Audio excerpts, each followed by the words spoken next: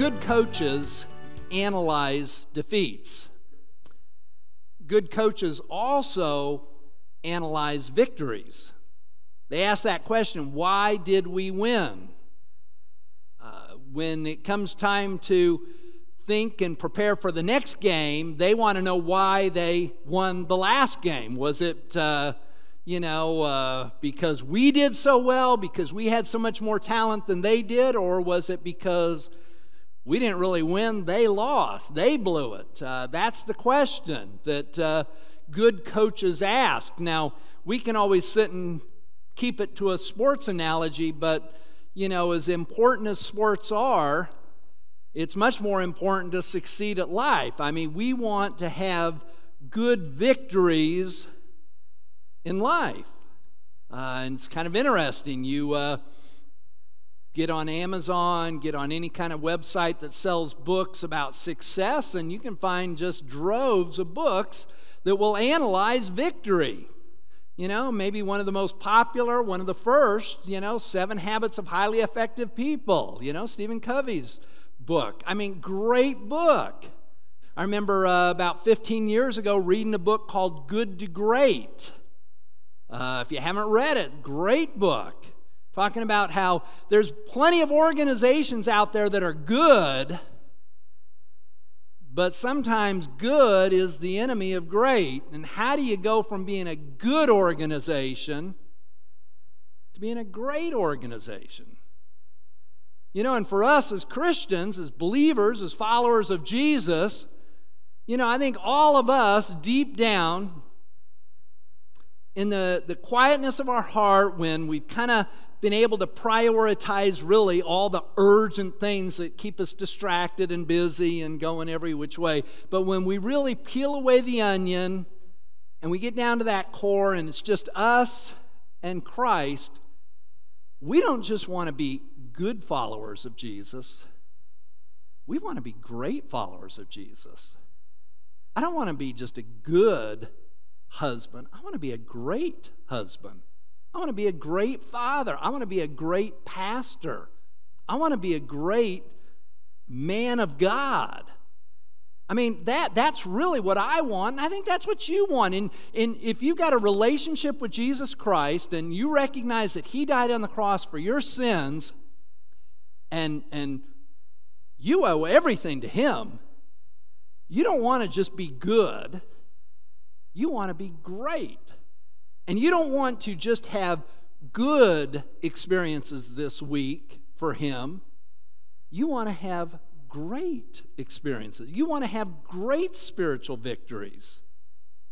And, and, and I think that that is, is something for us to kind of get in mind because we're going to look at what is probably the greatest military victory in all of Scripture. There's a lot of really, really good ones. So there, you know, someone else might argue and say, oh no, one of the other ones was a maybe a little bit better. But this is easily in the top five. This isn't a good victory. This is a great victory. So if you got your Bible, turn to Joshua chapter 10, and we're going to look at this story that is here. Now, we've been walking through the book of Joshua this summer, and uh, we've got today, and then I've got two more messages that I want to do on, uh, on Joshua before we, we, we leave it. But today, we're going to look at Joshua chapter 10, and, and in a way, this has got to be one of the greatest military victories in all of Scripture. And, and I don't say that lightly because in the book of Joshua, military victories are spiritual victories. I mean, this, was, this was a spiritual experience for Joshua and the children of Israel.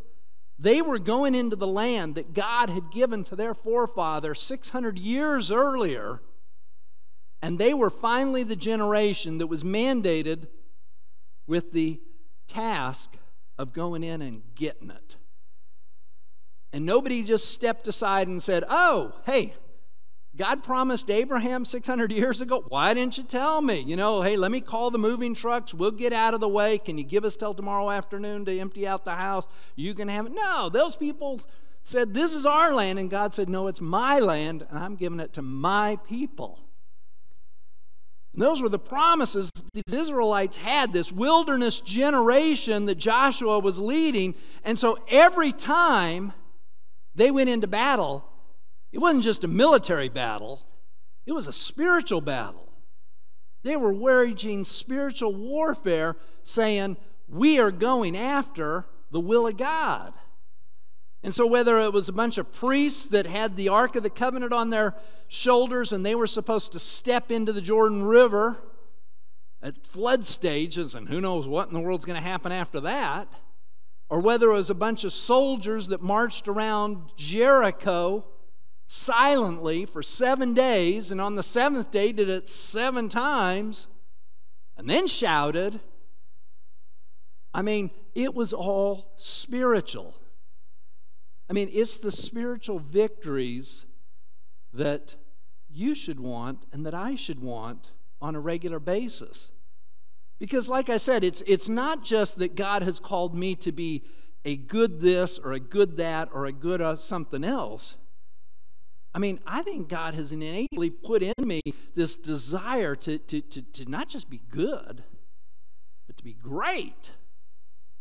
I mean, to, to take his, his, his will for my life, for you to take his will for your life, whether it's being a, an accountant or a teacher or an engineer or a, a, a, stay at home mom or a stay at home dad. I mean, it is I, this is God's will for my life, and I'm going after it. And I don't just want to be good, I want to be great. And this is a spiritual thing that I'm going after because God has called me to it, and I'm going to step up. So we're going to look at this, this, this victory, this battle, because I think it was one of those great ones in all of Scripture. And I think you and I can learn a whole bunch about what we need to be doing to really have, or at least position ourselves for God to do the great. Now, chapter 10 is basically a, an extension of chapter 9. Remember last week, the, the, the Gibeonites who were in the land, they came and snookered the Israelites. They said, Hey, we're from a long way away. We live a couple hundred miles away, and we want to establish a peace treaty with you guys. And that was perfectly fine to do that if they really, in fact, lived a couple hundred miles away. Deuteronomy 20 said it was okay for Israel to enter into those kind of alliances. But the people of the land, they were supposed to utterly destroy them. And I'll talk a little bit more about that here in a little bit. Well, these Gibeonites, who were people of the land, pretended to be people from a long way off. They came and the Israelites made a huge blunder. And they signed a peace treaty with them and they entered into it. And then a few days later, when they found out that these people weren't a couple hundred miles away, these people were maybe 15 or 20 miles ahead, and they could have easily been the next target. I mean, everyone was like, ah, what do we do now? But the thing that's really cool about it is that the Israelites, even though they swore to God about something that really was going to be a, a major blunder, they had enough integrity to honor it. Well, what happened? Well, look at verse 1 of chapter 10. Now it came about when Adoni-Zedek, king of Jerusalem, heard that Joshua had captured Ai and had utterly destroyed it, just as he had done to Jericho and its king, so he had done to Ai and its king, and that the inhabitants of Gibeon had made a peace treaty with Israel and were within their land, wow, he feared greatly because Gibeon was a great city, like one of the royal cities. and because it was greater than Ai, and all its men were mighty. It's kind of interesting. The, the, the, the southern portion of the land was all these little uh, city states, and Jerusalem was kind of one of the main ones. But there were lots of other city states around, and they all, you know, kind of despised each other. But when they had a common enemy like Israel, they were going to band together. If you remember back at the start of chapter 9, they were kind of organizing an alliance. All of us better get together, or otherwise, these Israelites are going to pick us off one after another, like they did to Jericho, like they did to Ai. So, why don't we get an alliance going? You know, kind of a, you know, I guess maybe they'd call it uh, something cute like NATO or something, but this was going to be the southern half of the land fighting against the Israelites. But what did the Gibeonites do? What we saw last week. They said, uh, even if you guys all get together, they're still going to kick your tails. And so they went and snookered them and got into a peace treaty. So, what does the king of Jerusalem do? He gets everyone together and says, hey, we've got to join forces against Gibeon because if Gibeon and Israel is together, we're really in trouble. Now, you got to make a promise to me. You can't go off Googling this for the next 15 minutes, but let me just tell you something. This is really, really fascinating. You may want to write this down or even take a picture of the screen.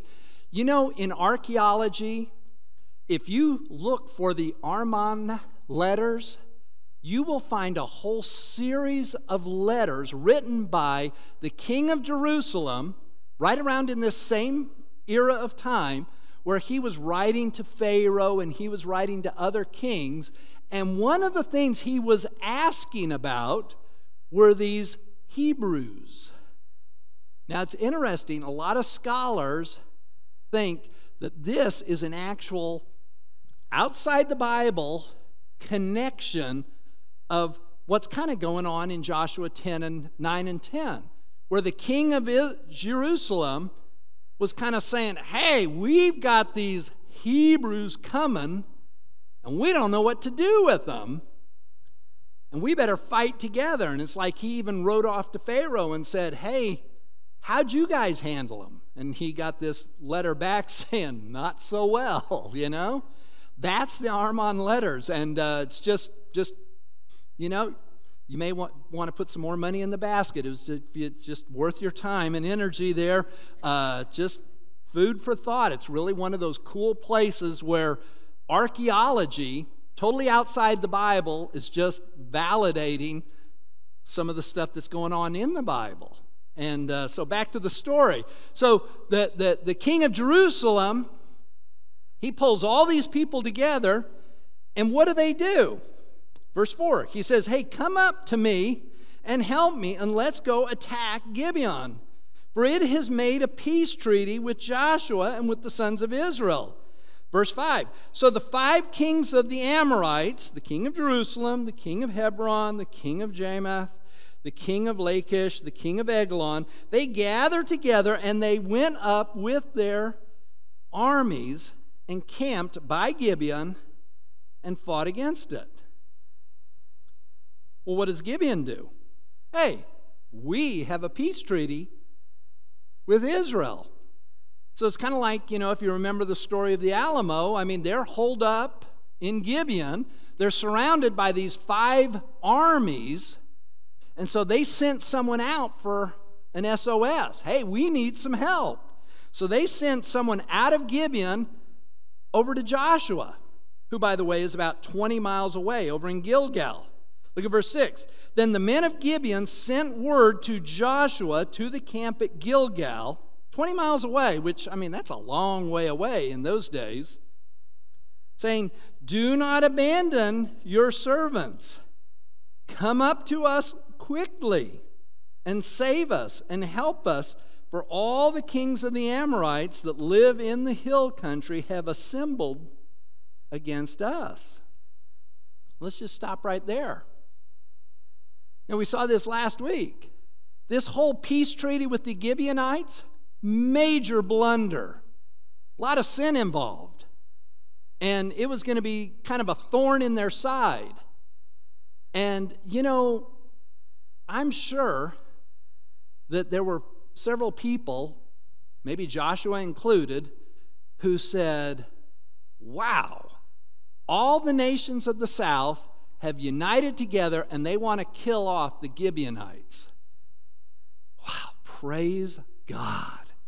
We're finally going to get out of this stupid deal that we signed five weeks ago. We can just sit back, take our time, they'll kill them off, and at least that chapter can be closed. But that isn't what they did, is it? Look at the next verse. Verse 7 Joshua, really without even praying, and in this time it was, it was okay to not pray because he was doing what he knew was to be right. Because they didn't swear an oath to the Gibeonites. Who did they swear an oath to in chapter 9? They swore an oath to the Lord to protect the Gibeonites. And so Joshua was like, you know what? We got to do it.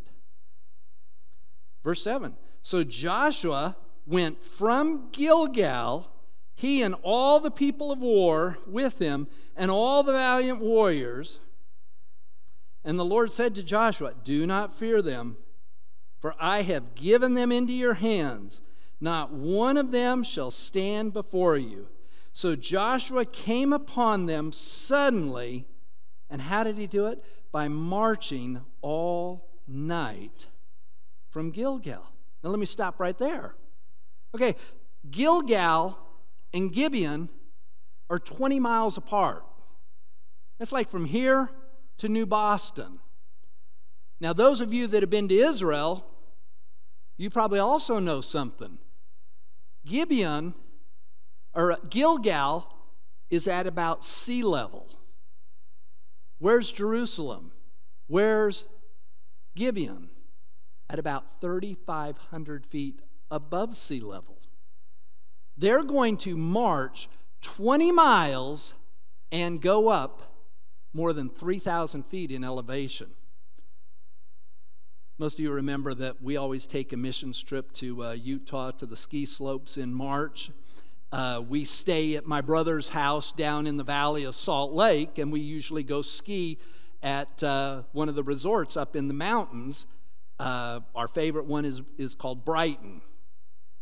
It's roughly from my brother's house up to Brighton about 20 miles. Salt Lake Valley is at 4,200 feet. The parking lot of Brighton is at 7,000 feet. Now, I can just tell you if, if at the end of the day I said to my troop, okay, hey, you know what? Let's just walk to the ski slope. And, and you know, so everyone gather your stuff and let's start. And, you know, dinner's done. We're going to march all night. And we're going to go from Salt Lake up through the canyon all the way to Brighton, 20 miles, and we're going to go uphill nearly 3,000 feet. I don't think it, I'd get too many takers. But Joshua and all those people, that's exactly what they did. I mean, without even batting an eye, they went to honor their oath that they had made to God, and they did so in a really difficult way. I mean, you get the news, the news is coming in at 4:30, 5 o'clock. I mean, you'd send the you'd think he'd send the SOS out. Okay, tell everyone we're moving out, so it's going to take us a while to pull stuff together. So we're hoping to get on the trail by 10 a.m. in the morning. Uh-uh. Joshua's like, we got to go. Everyone get to their tents, get your stuff. We're leaving at 5:15. And they march 20 miles uphill, 3,000 feet. Back to the story.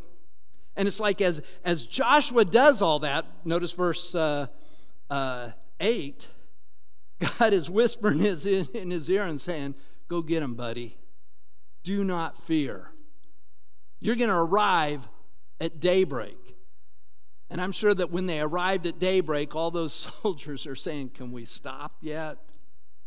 Are we gonna we gonna just rest here, get the lay of the land, and we'll engage the battle tomorrow? Uh-uh.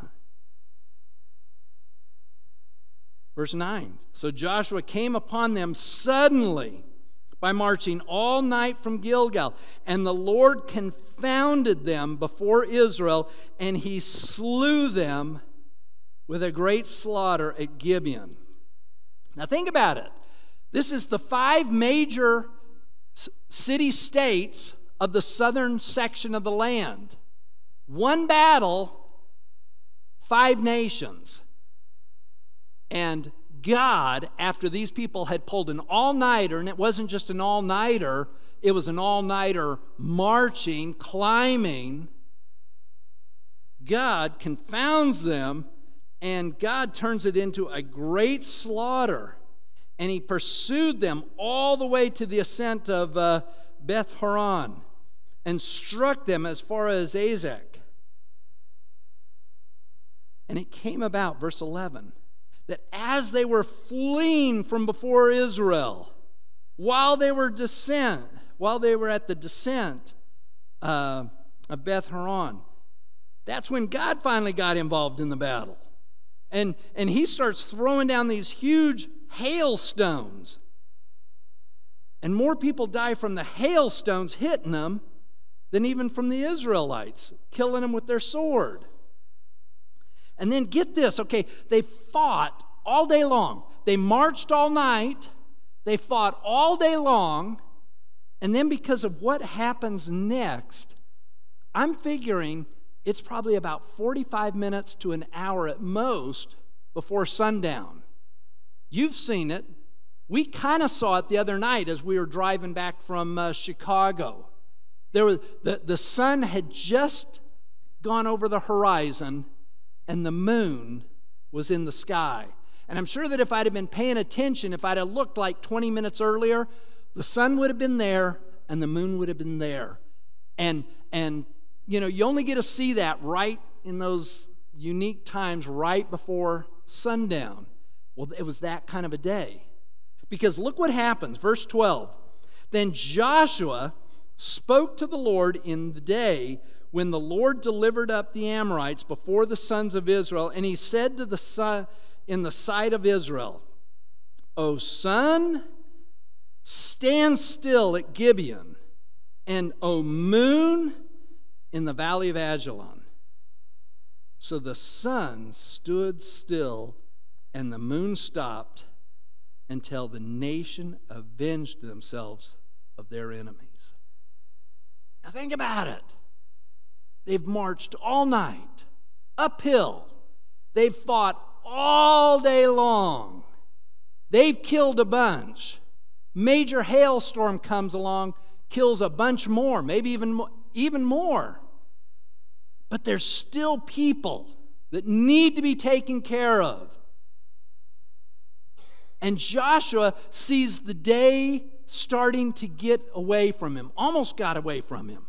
I mean, literally, for that phenomena to happen, it's got to be like an hour before it's just dark, totally dark. And Joshua, because he wants to finish the task for God, I mean, he looks, and it's almost like he's in his prayer, is commanding the sun to stop and the moon to stop. Now, you just think about it. This has got to be the greatest miracle in all of Scripture. I mean, I mean, liberals just laugh at this. I mean, I, I meant to, to Google the, the play about the Scopes trial, uh, whatever the name of that show was, but I remember seeing the movie and I even saw the play where one of the things where they really mock the Bible is this that you're telling me the sun stopped, the moon stopped, the earth stopped on its rotation? No. I'm telling you, the universe stopped. You think about it. Our universe, what we now know about it, it is this major clock, and and and you know, the physicists tell us that it is completely expanding, which I don't, you know, my mind's not big enough for that one. But but all of this stuff is movement, and there's gravitational pull, and each planet is rotating and everything and series of planets are rotating around their, their star their sun and, and, and galaxies and galaxies and galaxies. And what does joshua do? Presses the pause button. And and you look down there. It was paused at the end of verse 13 for almost a whole day. You say, well, how did that happen? I don't know. All I know is that the Creator pressed the pause button because he wanted to allow Joshua and his people to finish the job. Look at, look at, look, look at what it says. Verse 13. Is it not written in the book of Jasher? the sun stopped in the middle of the sky, and it did not hasten to go down for about a whole day. And there was no day like that before it or after it when the Lord listened to the voice of a man, for the Lord fought for Israel. That is so cool. And you know what? It's interesting. Uh, when you really sit and think about it, you say, well, of course, there was never a day like this. But notice, he doesn't say there's never been a day like this when the sun stopped and the moon stopped and everything stopped in all the galaxies and all the universe. He said it was never a day like that when the Lord listened to the voice of a man, for the Lord fought for Israel. He, he, he, he's, he's drawing out something here. It's not just the miracle that is so cool, it's what was going on in Joshua's heart and head, and those people that were on the same page with him who were willing, you know, let's just do the numbers, to march all night, 20 miles uphill, 3,000 feet, fight all day long which meant it probably was like a 12 hour battle or more. And then Joshua presses the pause button, and they continue to fight for almost another 24 hours. That's a long time to stay awake and fighting and pursuing God's will, but they were willing to do it. I mean, they were willing to go after it. And if I was to take the time to read the rest of the chapter, and you should, you'll find out. I mean, they chased those people and they defeated them. And they did what God had told them to do. Let me just press the pause button here. You know, a lot of folks sit and say, I, you know, I'm just not really sure about this God of the Old Testament. I cannot get into him. He's killing off everyone I mean, what about the innocent people? Truth of the matter is, there are no innocent people, not even in this room. We are desperately wicked. Who can know it? All have sinned and fallen short of the glory of God. God is the creator, He is the potter, and the pot doesn't say to the potter, What are you doing with me? He is the sovereign God of the universe.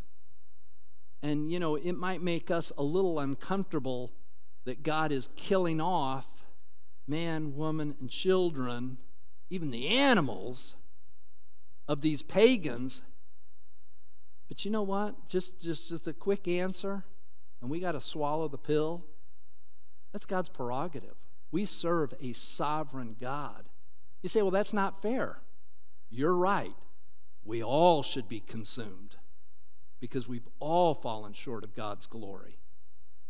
I mean, no one can argue with the compassion of God, the grace of God. and when it came to the Old Testament and, and Israel's mandate to, to basically exterminate these nations and pagans, I mean, that is God's call. We can't sit and look at it and say, well, I ain't going to worship that kind of God. I mean, what kind of God are you going to worship? The God that, that is made in your image or the God whose image you are made in? He's the creator. And I wish I could talk a lot more about that, but, but that, if, if that's something that troubles you, I mean, let me tell you the quick answer He's God, you're not. He is absolutely holy, you're not. And that's just one of those things you've got to say, that's His prerogative, and I'm here to do His will. And that's what made this day so unique. Because here is Joshua pursuing the will of God to, to do what God had called them to do. And that is to take care of all those people. And Israel would have been so much better off had they done that consistently. Instead of this being the exception, this should have been the norm. The great thing about this day, according to the writer, is not that the sun stopped and the moon stopped, it's that there was a man and his army that was so zealously passionate about doing God's will that they said, God, give us another day so we can take care of your business. You know, when I, when I just kind of sit and uh, think through this story and all that's, that's there, you know, I ask myself, okay, what is the point of this? Why, why did God, in his, in his wisdom, want us to read this story and hear this story? What is it that, that success, generations were supposed to get out of it? What are we supposed to get out of it? Well, remember, I think one of the things this passage is asking or answering is, is why do we win? You know, we're analyzing a victory. How can we have these kinds of moments? Obviously, they're up to God to give them, but how can I position myself so that my arms are open and I can receive God's blessing? And I think if you look through this passage, you kind of see the point. And the point is this there was fervent belief in God's promises. I mean, go back to uh, verse 7 and 8. I mean, Joshua, when he heard about the opportunity, instead of sitting and saying, Whoa, man, finally we can get rid of these Gibeonites, this might be easier than I thought to get rid of this little snafu. No, Joshua was like, We swore that we were going to take care of them, and we're going. And so he rallies the people. Hey, we're not leaving in the morning, we're leaving now. Get to your tent, get your sword, get your equipment, be back here in 15 minutes. And all of them did it, and they all were off. And it's almost like he's marching along, leading his people into battle, not for his own sake, not for his own ego, but because he was going to do God's will. And look what God does in verse 8. It's like as he's going along, God whispers in his ear, Hey, you got this. I'm going to give this to you. Don't fear. I've given them into your hands. Not one of them's going to stand before you. And Joshua's like, Yeah, I got it. We're going. He was so fervently believing what God had said, he was out the door before his wife even knew what was going on. And so were all those soldiers. You know what the other thing that you see throughout this passage? I mean, there is fanatical. And I searched for that word and thought, no, that's the right word. Fanatical obedience to God's precepts. You know what? Those people had hearts. Those people thought just like us. And I'm sure there's many of them that sat and thought, really? We got to kill all of them? I mean, What'd that baby do? What'd that child do? What'd that woman do? She didn't know who she was married to. Those old people, they're just old people. We got to respect the old people. I mean, those people were fanatical in going after what God told them to do. And I think that one of the reasons this turns out to be the greatest miracle in all of Scripture, like the writer said, a day like no other day before it or since. Not because God stopped the sun and the moon, cool as that is, great as that is, bigger and better than, quite frankly, with all due respect, just making a dead person come back to life.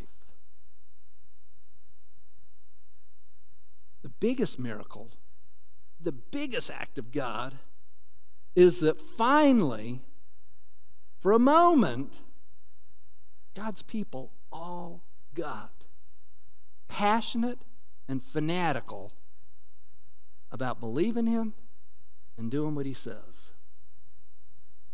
You want to see God work in your life? Check your belief and check your obedience. Trust and obey. It's really what it boils down to. I want to see God work. I don't want to be good, I want to be great. And what God is saying, you know what, Richard? Trust me and obey me. And if I choose to stop the sun and the moon so that you can be a better this or a better that or more thoroughly obedient to me and finish the task, I'll take care of it. But what I'm expecting from you is someone that says, I'm all in. I'm all in in my trust, and I'm all in with my obedience. You know, this is a great transition time of year, you know, and you get into August and even if you don't have kids in school, even if you never even had kids, for some reason it's like life begins September. You know, September 1st really ought to be the start of the new year, it seems like, for almost all of us. And this, this is just a good time for us to sit and say, okay, what am I going to do differently? What is it that God's calling me to do differently in this new season? And the answer is whatever it is, I need to be all in. I need to zealously believe that God's call on my life is it. And that's I'm I'm all for it. And I am going to be fanatical about doing what he's told me to do. Let's pray. Lord, I I just thank you for this incredible story. And I thank you for Joshua and his incredible belief and obedience. And I thank you that all his people got on the same page. Lord, I, I pray that we would be on that page. We don't want to be good, we want to be great. Not for ourselves, but for you. Father, there's folks here that are getting ready to go back into classrooms and teach kids. They want to be great teachers who are your person in that classroom. I pray, Father, you would give them the, the faith, the trust, the obedience. Father, there's people here that design things, sell things, support things. Uh, we don't want to be just good, we want to be great for you. We don't just want to be a Christian worker. We want to be someone that is so shining brightly to this very dark community that uh, we've got a God that uh, is worthy of our trust and worthy of our obedience. Father, I pray too, if there's someone here that does not know you, and they hear this, and it's just like they're not really sure how it's all connecting. Father, I pray that uh, even right now they would recognize that Jesus Christ is their Savior, and through simple faith and trust, they can believe on Him and be saved and have this relationship with you that, that just can be the most exciting journey,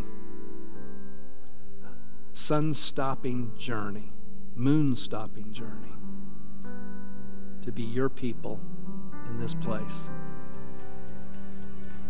So, Lord, thank you for the truths we've seen today. It's in Christ's name. Amen.